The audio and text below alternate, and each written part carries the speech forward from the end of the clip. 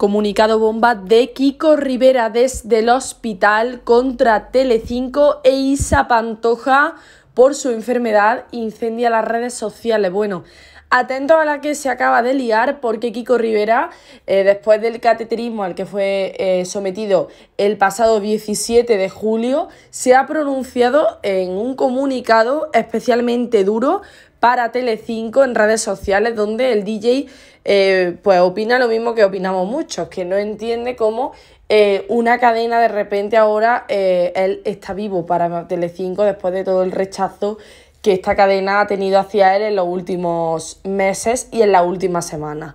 Pues bien, atentos porque Kiko Rivera no se calla una y eso que está ingresado en el hospital. Eh, es tremendo el comunicado.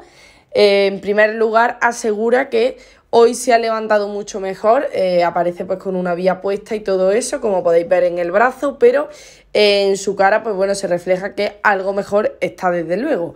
Eh, os voy a comentar precisamente lo que el hijo de Isabel Pantoja ha querido trasladar a sus seguidores, no solamente una buena recuperación en torno a su estado de salud, sino que además eh, prohíbe terminantemente a Telecinco hablar más de él. Dice, buenos días, después del día de ayer estoy más despierto y más fresco que una lechuga, pero ¿saben una cosa?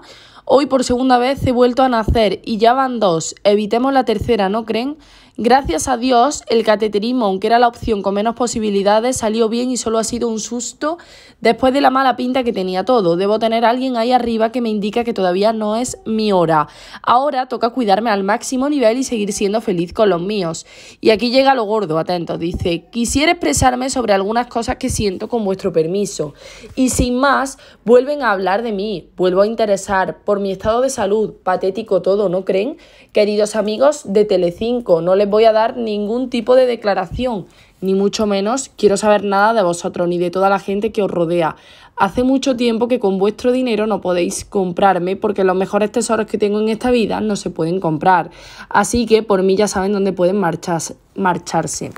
Los que se creen portavoces de mi familia ya sabéis a quién me refiero mejor, que se preocupen de su vida, que por aquí anda todo bien y no me hace falta que nadie informe de nada y mucho menos cuando no saben nada. Pero es que atentos porque lo gordo viene ahora. Dice, también quiero dejar dicho por aquí, porque no me voy a callar a todas esas personas que han empezado a escribirme como si nada hubiese pasado y que han estado más de tres años sin preguntar por mí y por mis hijos. A todos ellos porque sé que leen esto no tenéis ningún tipo de cabida en mi vida, así que no os molestéis ni siquiera en mandar un WhatsApp. Esta es la única manera que tengo de expresarme porque como dije hace tiempo, la televisión de la cadena que todos sabéis, no los quiero ni en pintura. Y ahora a toda mi gente que me habéis escrito, os quiero dar las gracias por vuestro apoyo incondicional tan bonito que me dais. Por cierto, esta foto queda totalmente prohibida usarla en medios de comunicación, al igual que todas las que suba a partir de este momento sin previo permiso ya sabéis dónde pedirlo. No os hagáis los remolones, al igual que cualquier tipo de declaración.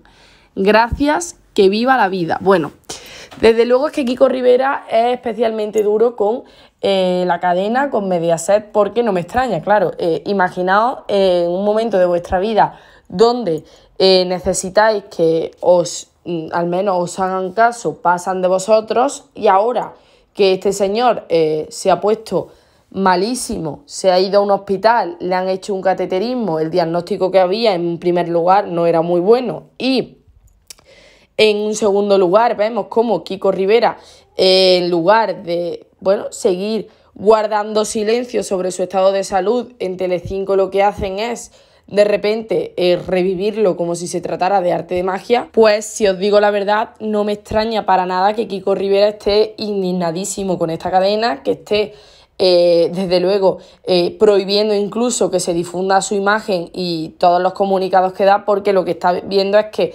Telecinco se está lucrando a costa de él, a pesar de que en un pasado eh, la cadena pues lo vetó sin motivo alguno, porque motivo aparente tampoco es que hubiera. Entonces, claro, entiendo perfectamente su indignación. Por otro lado, creo que la indignación de Kiko Rivera también va bueno, en pro a todo lo que se está viendo de su hermana.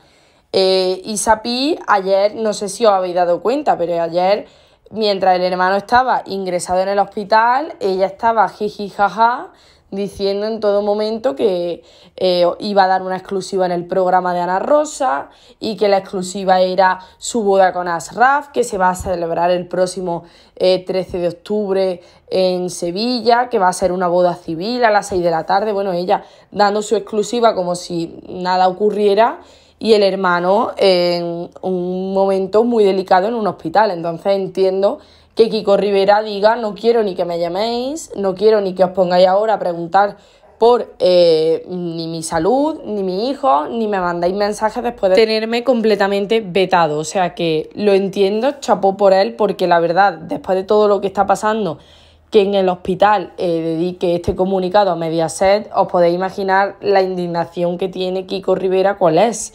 Yo creo que su madre Isabel Pantoja también está indignada con el trato que la cadena está dándole al hijo. Eh, se insinúan cosas gravísimas, luego, bueno, ya estamos viendo que les da igual 8,80.